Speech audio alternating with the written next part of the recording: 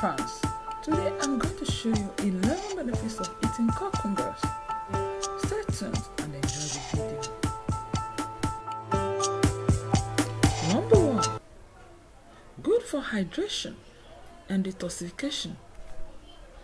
Cucumbers are 96% water. Consuming cucumbers adds to daily requirements of water by the body, thus keeping us hydrated. Number 2. Regulates blood pressure.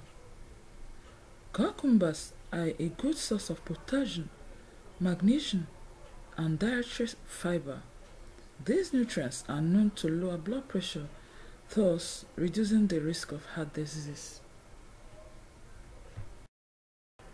Number 3. Good for digestion. Cucumbers act as a coolant for our stomach. The soluble fiber in cucumbers helps in slowing our digestion. Number 4. Reduces blood sugar. Cucumbers are known to reduce blood sugar levels, thus being helpful in the management and prevention of diabetes mellitus. Number 5. Helpful in weight loss. Cucumbers contain 96% of water and are low in calories. There are only 15.5 calories in 100 grams of cucumber.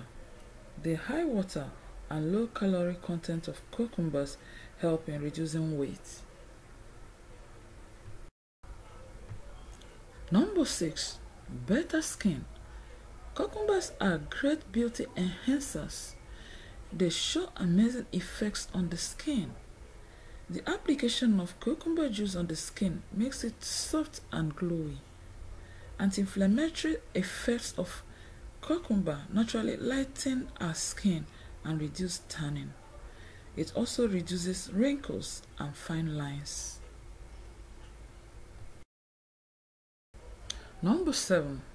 Suits our eyes. Keeping cucumber slices on the eyes for about 10 minutes relaxes our eyes and reduces puffiness around the eyes. Number 8 reduces the risk of cancer. The fiber in the cucumbers protect us from colorectal cancer.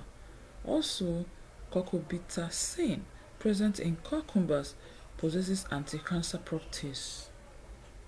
Number 9 good for hairs and nails. Cucumbers contain silica, which is excellent for hair and nail care. They help in strengthening the nails and prevent them from becoming brittle. Number 10. Bad breath. Phytochemicals present in cucumber destroy the bacteria in our mouths that cause bad breath. Number 11. Reduces dark circles. Using cucumber slices around the eyes also reduces the appearance of dark circles quickly. Video, don't forget to subscribe and drop your comments.